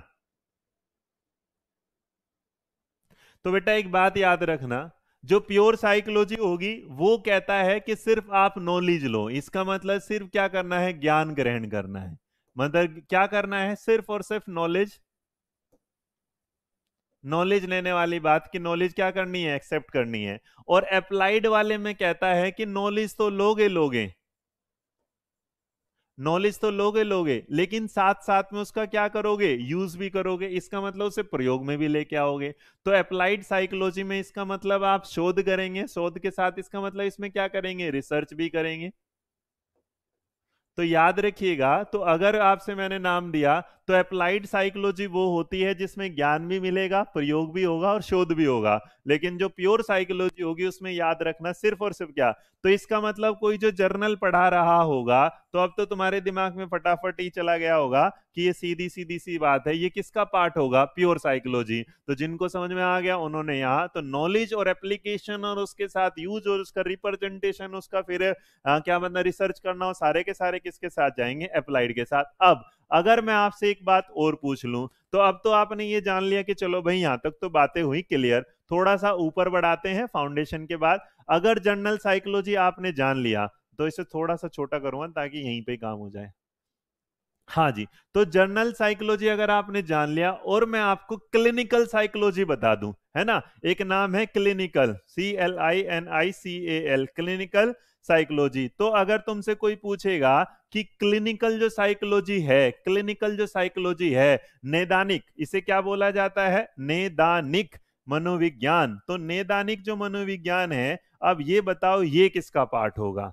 क्लिक क्लिनिकल साइकोलॉजी जो है वो किसका पार्ट होगा? जी बिल्कुल। शिक्षा, मनोविज्ञान, व्यवहार का विज्ञान होगा, मनोविज्ञान, नियामक, विधायक दोनों बहुत बढ़िया। तो एक और आ गया, है ना? एजुकेशनल साइकोलॉजी भी पूछूँगा चिंता ना करो, पहले ये बताओ क्लिनिकल साइकोलॉजी किसमें चला जाएगा? क्योंकि तुम्हें पता है क्लिनिकल साइकोलॉजी अगर जाएगा तो इसका मतलब भैया क्लिनिकल तरीके से समझ लो। तो इसका मतलब जैसे क्लिनिक होगा डॉक्टर का, वो क्या करेगा? मरीज़ आएगा, अपना इंजेक्शन अप्लाई करेगा, जैसे अभी कोरोना की वो बन गई जो वो आई है ना वैक्सीन आई है तो अभी क्या हो रही है, लोगों पर अप्लाइड हो रही है, ये लो, यहाँ ठुकवा दो वहाँ ठुकवा दो, उसके बाद असर देखो। तो इसका मतलब जो क्लिनिकल है वो किसका पार्ट हो जाएगा ये? अब अगर एक नाम हो जाए एब नॉर्मल है ना? अगर एक नाम आ जाए abnormal A B N O R M A L abnormal जो साइकोलॉजी है, अगर वो किसी ने तुमसे पूछ लिया, हिंदी में इसको बोला जाता है असामान्य विज्ञान। क्या माना जाएगा? असामान्य विज्ञान। तो याद रखना ये डीएसएसबी का वो पेपर जो आता है, जिसमें आप एजुकेश का एजुकेशनल के साथ ना, क्या बोलते हैं उसको स्पेशल एजुकेटर वाला उसमें, और ये वाली जो चीज़ें आती हैं, सौ नंबर वाले के साथ, चाहे आप केवी में जाए, कहीं वहाँ। तो अगर किसी ने तुमसे पूछ ले एबनॉर्मल जो होगा तो इसका मतलब वो किसके साथ जाएगा, जरा बताना। तो मेरे बच्चे, याद रखना, जो एबनॉर्मल होगा, वो भी हमारा किसके साथ जाएगा? प्योर साइकोलॉजी शोध तो कुछ कर नहीं सकते। लेकिन अगर इसी के साथ एक नाम और दे दूँ मैं तुम लोगों को, वो है सोशल साइकोलॉजी सोशल अच्छा एक बात और है भाई। एक दो बच्चों को जिनको अदर, अलग सा ज्ञान मिल जाता है और उस ज्ञान के मिलने के बाद वो अपना प्रकाश ज़्यादा देना चाहते हैं, बिल्कुल दीजिएगा। लेकिन मैं ये कहता हूँ, अगर आपके पास एक्सप्लेनेशन है तो दीजिएगा, वरना बेवजह मत ऐड करिएगा। तो कोई मुझसे बोलने लगा कि, सर फ़िज़िकल जो ग्रोथ एंड डेवलपमेंट में ना, जो डेवलपमेंट के पार्ट होते हैं, आप फ़िज़िकल बताते हो सोशल बताते हो कॉग्नेटिव बताते हो मेंटल तो बताते नहीं। अरे भैया कॉग्नेटिव मेंटल का पार्ट हो जाएगा। लेकिन वहाँ ये नहीं देखना कि इकोनॉमिकल डेवलपमेंट आप किसी किताब में पढ़ लो इकोनॉमिकल डेवलपमेंट स्पिरिचुअल डेवलपमेंट याद रखना चाइल्ड साइकोलॉजी में वो नहीं पढ़ाते। मैंने कहा था, बाल मनोविज्ञान और शिक्षा मनोविज्ञान में क्या डिफरेंस है? अभी थोड़ी देर में पता चल जाएगा। याद रखना, है ना? तो तो अभी जब देखेंगे इस वाले साथ के साथ, अब अगर या तो याद रखना, अगर तुम्हारे सामने सोशलिस्ट का मतलब सामाजिक होगा तो अब एक बात बताओ, सामाजिक वाली अगर बात आ जाएगी तो सामाजिक किसके साथ जाएगा भाई? है ना? सामाजिक किसके साथ? P S Y C H O L O G वाली बात है, इसमें ये मत सोच लेना कि अंग्रेज़ी गलत लिख दिया ना। हाँ। छोटा छोटा लिख रहे हैं, कहीं तुम इसमें भी अपना ज्ञान। तो जो सामाजिक साइकोलॉजी होगी, एबनॉर्मल साइकोलॉजी, मेरे बच्चे सोशल, याद रखने का सामाजिक मनोविज्ञान में भी ज़िंदगी कोई अप्लाइड नहीं होती। सोशल में याद रखना, सोशल के रूल को अपनाना पड़ता है। तुम लोगों को देखो, कैसे खुल के बोल रहे हैं, सर जी, अप्लाइड होगा नहीं, याद रखना, सोशल, याद डीएसएसबी का पेपर का एग्ज़ाम है, मेरे बच्चे पेपर में डाल लेना इसको, है ना? तो ये वाला डीएसएसबी के पूछा गया। तो याद रखना, ये भी आपकी प्योर साइकोलॉजी में आती है, इस पर सोशल में कोई भी शोध नहीं होता। समाज में आने वाली कोई भी चीज़ जो आ गई, वो नियम बन गए, उसमें कभी शोध अप्लाइड कैसे कर दोगे? करना जरा शोध करना। अब इस बात पे शोध करोगे, घूंघटा कैसे निकालेंगे ना? घूंघट निकालने वाला शोध कैसे कर लोगे? ये कैसे निकालोगे? सोशल में ये बात की महिलाओं को खाना ही बनाना था, पुरुषों को हली चलाना था, नहीं। याद रखिएगा, आप यहाँ पर रूल को क्या करते हैं? एक्सेप्ट करते हैं यार रूप को आप शोध और अप्लाइड नहीं तो याद रखिएगा। अगर कोई पूछेगा, सोशल सामाजिक मनोविज्ञान किसमें आता है? तो ये मेरी बात याद रखना, ये भी किसमें आता है? प्योर साइकोलॉजी के अंदर आता है। बिल्कुल एकदम दिमाग। अगर कोई पूछ ले तुमसे ये वाली बात, जो हमारे पास है क्या? Legal psychology. अरे भाई, इतना है साइकोलॉजी इतनी बड़ी है कि अगर कोई पूछ ले ले कानूनी मनोविज्ञान। जो कानूनी मनोविज्ञान है, वो किसके अंदर आएगा? अब बताओ हाँ समाज में मान्य व्यवहार, इसका मतलब आप उसमें अप्लाइड करने वाली बात। नहीं लेके चलेंगे तो ये बताइएगा हाँ ये वाली बात बता दीजिएगा कि अगर कोई तुमसे पूछेगा लीगल साइकोलॉजी किसमें आएगा तो अगर एक महिला अपने पति पर इसका कर देते हैं कि इन्होंने दहेज मांगा था तो अब इस मतलब को बताइएगा, उसने बोल दिया दहेज मांगा था तो इस बात को मान ले या इस बात पे लड़ा जाए तो इसका मतलब यहाँ एक बात होगी कि अगर किसी ने बोल दिया तू पापी है है ना? हे पापी वो गाना अलग बात है। तो इसका मतलब लीगल वाले में जब जाओगे तो आप इसको बेटा अपनाना नहीं, इसको क्या करना पड़ेगा? अप्लाइड तो इसका मतलब लीगल साइकोलॉजी जो है, वो किसका पार्ट हो जाएगा? अप्लाइड का पार्ट हो जाएगा। और अगर ये अप्लाइड का पार्ट हो जाएगा तो इसके बाद आ जाता है अगर ये है सोशल और इसके आगे लिख लो साइको सोशल तो इसका मतलब किसी ने तुम्हें पागल बनाने के लिए साइको सोशल भी दे दिया तो टेंशन ना लेना। ये भी किसका होगा? प्योर साइकोलॉजी का ही पार्ट होगा। किसका पार्ट होगा? प्योर साइकोलॉजी का ही पार्ट होगा। लेकिन लेकिन लेकिन अगर अभी रिसेंटली आप इन चीज़ों को आगे देखेंगे तो इसी साइकोलॉजी के पार्ट में आपके सामने एक दो नए नाम और आ जाते हैं। और जो एक दो नए नाम आ जाते हैं, उसमें आया है रिसेंट जो नया आया है, वो है स्पोर्ट्स साइकोलॉजी स्पोर्ट्स साइकोलॉजी, इसीलिए कहा गया साइकोलॉजी अपने आप में इतना वर्ड है। अब स्पोर्ट्स जो होगा, अगर खेल है तो इसे मान लू या इसे अप्लाई करके देखो। याद रखिएगा, खेल वाली जो बात होगी तो इसका मतलब स्पोर्ट्स जो साइकोलॉजी जाएगी, वो हमारी किसके साथ जाएगी? अप्लाइड साइकोलॉजी के साथ जाएगी। अप्लाइड साइकोलॉजी के साथ जाएगी और अगर ये अप्लाइड के साथ चली जाएगी तो इसके बाद यहाँ पर एक चीज़ और आता है जो रिसेंटली और जुड़ा है तो स्पोर्ट्स से जुड़ा है मिलिट्री भी जुड़ा है।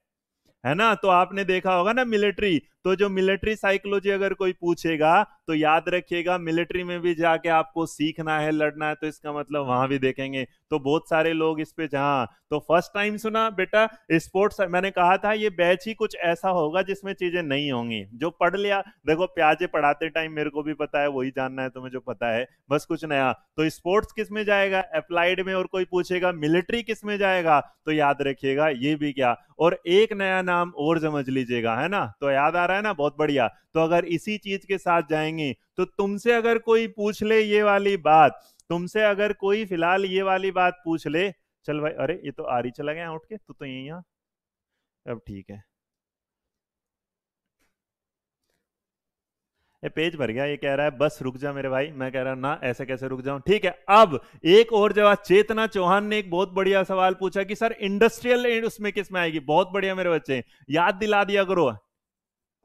तो अगर इंडस्ट्रियल साइकोलॉजी कोई तुमसे पूछ लेगा, औद्योगिक मनोविज्ञान, क्योंकि इंडस्ट्री में आने वाली चीज़ को थोपा नहीं जा सकता, वो इसको क्या करना पड़ेगा? अप्लाइड तो याद रखना ये भी हमारा किसका है? अप्लाइड साइकोलॉजी का पार्ट होगा। किसका होगा? इंडस्ट्रियल जो चेतना आपने पूछा, वो भी बेटा मेरे याद रखना, वो किसका पार्ट होगा? अप्लाइड का ही पार्ट होगा। लेकिन यहाँ पर एक बात याद रखिएगा, अगर इंडस्ट्री आई है, आप लोग कंज्यूमर हैं आप लोग उपभोक्ता हैं। तो इसका मतलब ये बात बता दीजिएगा, जो कंज्यूमर होंगे आप लोग, क्या है? कंज्यूमर है। तो कंज्यूमर जो होगा वो किसमें आएगा? कंज्यूमर साइकोलॉजी मैंने कहा ना जब पूरा पढ़ोगे तो। ये है उपभोक्ता। उपभोक्ता मनोविज्ञान। तो उपभोक्ता मनोविज्ञान, अब तुम ऐसा तो है नहीं, तुम्हें तो डेमो चाहिए। देखो, हमने कोर्स लॉन्च किया, लेकिन तुम्हें क्या चाहिए? ना सर जी, ऐसे कैसे? पहले तो डेमो दो, तीन चार डेमो दो, और जब तीन चार डेमो दोगे तो इसका मतलब तुम्हें क्लास समझ में आएगी, फिर उसके बाद जाओगे। तो इसका मतलब जो कंज्यूमर होगा, पहले, है ना पहले इस्तेमाल करें, फिर विश्वास करें, है ना? तो याद रखिएगा, पहले इस्तेमाल करें, फिर विश्वास करें तो इसका मतलब तुम क्या करोगे? शोध भी करोगे अप्लाई भी करोगे तो इसलिए कंज्यूमर जो है, आप कहते हैं प्योर जीना, याद रखने का कंज्यूमर प्योर नहीं है। कंज्यूमर किसके साथ पहुँच जाएगा? कंज्यूमर सो जाएगा अप्लाइड के साथ। क्यों पहुंचेगा? क्योंकि यहाँ पर उसके पास कंज्यूमर फोरम भी है, जहाँ पर जाकर क्या कर सकता है एफजे तो तुम लोग देख रहे हो कंज्यूमर ए, खोल के आँख बोल रहे हो कि सर जी ऐसे ना, याद रखिएगा, यहाँ पर इस चीज़ों को दिमाग में लेकिन लेकिन लेकिन अगर एक सवाल और आ जाए, सोच ले कोई आपसे D E V E L O P M E N T L developmental psychology अर्थात विकासात्मक अगर पूछ लेगा तो एक बात बताओ, विकासात्मक जो मनोविज्ञान है, वो किसका पार्ट होगा? नहीं देखना तो अभी टेट के, तमिलनाडु टेट के एग्ज़ाम में उठा लीजिएगा, सवाल मिल जाएगा। हाँ कंज्यूमर क्या करेगा? अप्लाई करके मानेगा, वो तो करेगा ही नहीं। हाँ घड़ी डिटर्जेंट बहुत बढ़िया मिशन इंडिया फिट आगे ना समझ में बच्चे? तो अगर इस सवाल को पूछा जाए कि बताइएगा कहाँ? तो डेवलपमेंटल जो साइकोलॉजी होगा डेवलपमेंटल जो साइकोलॉजी होगा, इसका मतलब मेरा जो विकास हो रहा है प्योर होगा कि वाला? भाई, जो हो रहा है, वो हो रहा है। देखो ए गधो, तुम बोलोगे अप्लाइड भाई डेवलपमेंट जो होगा वो प्योर है, उस पर कोई शोध नहीं कर सकते तुम इस तरीके से कि मेरे ये हाथ की उंगली मोटी क्यों है, हाथ की उंगली पतली। तुम ये बोलो कि मेरे यहाँ पर इधर वाले उसमें क्या है? किधर पड़ता है? इधर हाँ। इधर वाले में यहाँ ये पड़ता है डिम्बल इधर वाले में नहीं पड़ता। क्या डेवलपमेंट करो कुछ भी नहीं करोगे तो इसका मतलब याद रखिएगा डेवलपमेंटल जो होगी, वो किसका पार्ट होगी? वो प्योर साइकोलॉजी का पार्ट होगी पीपी का होगी, है ना? तो पीपी का जो पार्ट होगी वो होगा क्या? डेवलपमेंटल और अगर इसी बात को आगे बढ़ाते हुए और अंत में इस चीज़ के पास पहुँचते हुए कि तुम लोगों के सामने आएँगी दो चीज़ें, जिसमें आएगा, एक आएगा चाइल्ड साइकोलॉजी या आप इसे क्या करते हैं? याद रखिएगा, एक तरफ़ आएगा चाइल्ड साइकोलॉजी तो एक आएगा चाइल्ड साइकोलॉजी और एक आएगा बेटा एजुकेशनल साइकोलॉजी तो याद रखना अगर कोई तुमसे पूछेगा, बाल मनोविज्ञान जो है, जो बाल मनोविज्ञान है, उसके स्तर को आप क्या कर सकते हैं? प्योर की बाला किस तरह बढ़ रहा है? ये वाला तो याद रखिएगा चाइल्ड साइकोलॉजी जो पार्ट है, वो प्योर साइकोलॉजी का पार्ट है एजुकेशन साइकोलॉजी जो शैक्षिक है, ये अप्लाइड का पार्ट है, क्योंकि आप देखेंगे बच्चे के ज्ञान को अपना बढ़ाते हुए, पढ़ते हुए देखते हुए तो याद रखना अगर तुमसे कोई पूछेगा कि शिक्षा मनोविज्ञान किसका पार्ट है तो याद रखना अप्लाइड का और अगर पूछेगा बाल मनोविज्ञान किसका पार्ट है तो याद रखिएगा ये पार्ट कहलाएगा किसका? आपका पीपी। ये वीना कुछ ऐसे ही हाँ, गंदा सा मुँह बना रही है। बताओ भाई क्या गड़बड़ हुई? आ गया। तो एजुकेशनल साइकोलॉजी किसमें जाएगा? अप्लाइड में और जो चाइल्ड साइकोलॉजी जाएगा ये किसमें जाएगा? आपके साथ। हाँ किसमें जाएगा भाई? प्योर साइकोलॉजी में। अब यहाँ बात समझ में आई कि नहीं आई? हाँ या ना? सर, ये रीट के लिए भी है क्या?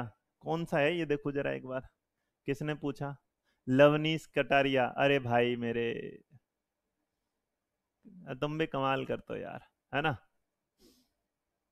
सर, डीप में लाइफ स्किल और सीडीपी पढ़ा दीजिए। चल रहा है दिव्या शुक्ला जी। यहाँ तक समझ में आया? हाँ या ना? अगर यहाँ तक समझ में आ गया तो ठीक है। तो कल की क्लास को यहीं से कंटिन्यू करते हुए कल आप हम लोगों से पढ़ेंगे मतलब मुझसे पढ़ेंगे, किसके बारे में? कल आप पढ़ेंगे स्कूल ऑफ़ साइकोलॉजी क्या पढ़ेंगे भाई? S C H double O L school O P S Y C H O L O G Y school of psychology इसका मतलब आप पढ़ेंगे किसका? मनोविज्ञान के संप्रद्य, जिसमें आप पढ़ेंगे आगे। तो आशा करते हैं आज को आप लोगों का, आज का ये सेशन आपको अच्छा लगा होगा। लाइक शेयर सब्सक्राइब जो करना कर लेना। लेकिन याद रखना, अभी कोई भी कोई भी इस कोर्स को खरीदिएगा मत, क्योंकि खरीदोगे तो फिर मुझसे मत कहना कि मैंने मना किया था। मैंने पहले ही बोला था, कोई भी इस कोर्स को तब तक मत खरीदना, जब तक तुम इसकी चार पाँच डेमो और तुम्हें लगे कि हाँ कुछ नया मिल रहा है, तभी अंदर आना, अभी दरवाजे खुले हुए इस कोर्स के, चिंता मत करिएगा। क्लियर है? चलेगा। तो यहाँ इस कोर्स के साथ भाई आज की क्लास यहीं रखेंगे। तो मैंने पहले ही बोला बिल्कुल, देखो सब कहते हैं कोर्स खरीदना, मैं कहता हूँ कोर्स मत खरीदना, जब तक आपको ये ना लगे कि हाँ ये बैच कुछ नया है। क्लियर है भाई ये वाली बात? हाँ फिर मत कहना, सर जी पछता गए हम करते टाइम क्योंकि पछताना इसके पीछे की एक और हिंट है, जो मैं आपको बड़ी जल्दी देने वाला हूँ। क्लियर भाई? तो चलिएगा, आज के लिए इतना ही है। कल हम पढ़ेंगे स्कूल ऑफ़ साइकोलॉजी मतलब विद्या मनोविज्ञान के संप्रदाय। तो कल मिलेंगे मनोविज्ञान के विद्यालय, नहीं कहा जाता, है ना? इसके साथ। चलिएगा तो आज के लिए इतना ही है। धन्यवाद। कुछ, अब ये बता मेरे को इसकी कैसे बनेगी पीडीएफ मैं बच्चों को दूँगा तो। हाँ? नहीं, अभी बता ऐसे? ऐसे मैं बच्चों को दिखाऊँगा? बता। हाँ। यहाँ? हाँ। एक्सपोर्ट हाँ यार।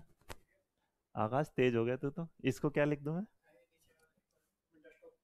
नहीं, इस पर नाम लिख देता हूँ ना। क्लास वन है ना? बच्चों को पहुँच जाएगा। वन से ले। रुक जाओ भाई। आकाश ने एक चीज़ और बता दी। क्या लिखेंगे? C L A class one अब पगल सा हो गया। ई डी यू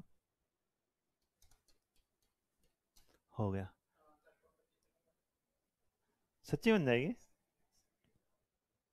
पीडीएफ ही तो है। यार तो काम की चीज़ है ना। हम तो मेहनत करते रहते दिखाइए इसको। अब कैसे करो? इसको कट कर। तो इस सैलरी में सौ रुपये बढ़ा दूँ आज में। ध्यान रखे अगर ये खुल क्लास चल रही क्या हमारी? ओहो, तुम भी सामने देखते रहते हो सारे के सारे, हैं? एक पेज बना भाई। मैं भी तो ये सोचो इतना कहाँ होगा। बस एक ही तो पेज बना यार। हाँ। है? रुको भाई, इस पे क्लिक कर दूँ? अब क्या करूँ? हाँ हाथ पे। ये मिटा तो नहीं दिया था। नहीं मिटाया। नहीं मिटाया था भाई मैंने। हाँ? नहीं, उसमें ऊपर चलता गया है तो ये रहा देख सारा। अरे तुम लोग हमारा खेल ऐसे ही देखते रह भाई, हम ऐसे ही हैं, हमें ऐसा कुछ हो नहीं, अपना यूट्यूब चैनल बिल्कुल एकदम साधारण है, हैं? सौ रुपये काट भी लूँ हम ध्यान रखियो। तूने अगर आज न बना, अब रुक। क्या होगा? मेरे को लग रहा, आकाश, यहाँ से देख इसको। ओहो, ये ना ये पूरा कवर करेगा, देख। ये रहा हाँ। अब थोड़ा बड़ा करें। कुछ ना समझ में आएगा भाई इनको। चलो तुम लोग भाग जाओ तुम क्या कर रहे हो यहाँ? हम ऑनलाइन सीख रहे होगे तुम भी हमसे। सीख लो सीख लो। आ, कुछ ना हो आकाश। सुन एक काम कर एक काम कर। कहाँ गया हो तो बंदी कर दिया तूने तो। वाह मेरे बच्चे रहन दे। सारा चला गया। चलो बाय बाय टाटा। कुछ ना हुआ मैं सोच ही रहा था ये क्या करेगा मैं सोच रहा था ना। तो ये तो एक आया। इसी पे। हम्म अब? आ गया। अब? आकाश तो आज इसे कर दे मेरे यार। इस पे क्या करूँ? मिटाइयो हाँ। बहुत छोटा हो गया भाई। हाँ देख कैसा हो रहा। देखिए कितने खाली हैं, हम तो यही हैं, खाली तुम लोग भी खाली हो मतलब कमाल कर रहे हो यार तुम लोग। और मैं जानबूझ के बंद नहीं कर रहा मैं क्या देखो तुम लोग मेरे साथ ऐसे रहोगे क्या? अब देखो दोबारा, क्या करूँ? रिप्लेस मार दूँ? चल यस हाँ? अब? अच्छा एक पेज पे इसलिए ऐसा तो करना होगा।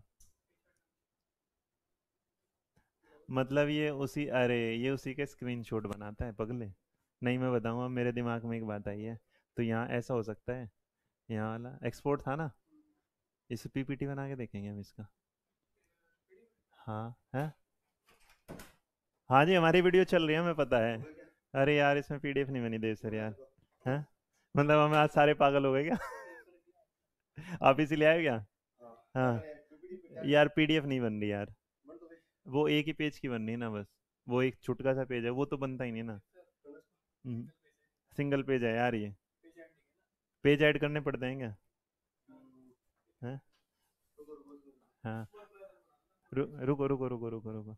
हम तो देखो खाली हैं भाई, एक मिनट।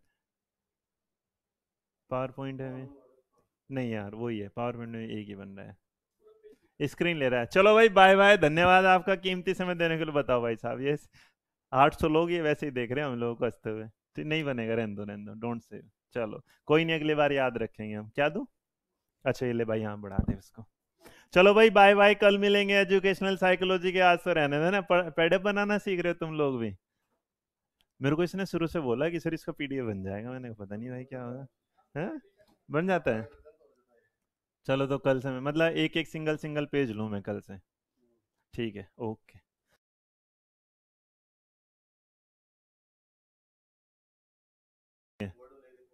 वर्ड में?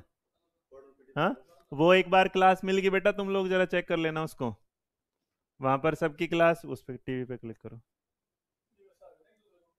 इसमें भी इमेज ही आएगी। वो सब जगह एक ही पेज आ रहा है बस। चलो बाय बाय गुड नाइट जय हिंद, जय भारत। नमस्कार, ध्यान रखिएगा अपना। मिलेंगे कल फिर आपसे इसी टाइम सुबह। फ़ोटो हटा के बात करवाना कल इसी टाइम मिलेंगे, चलो, ठीक है, तब तक के लिए बाय बाय चलिए बाय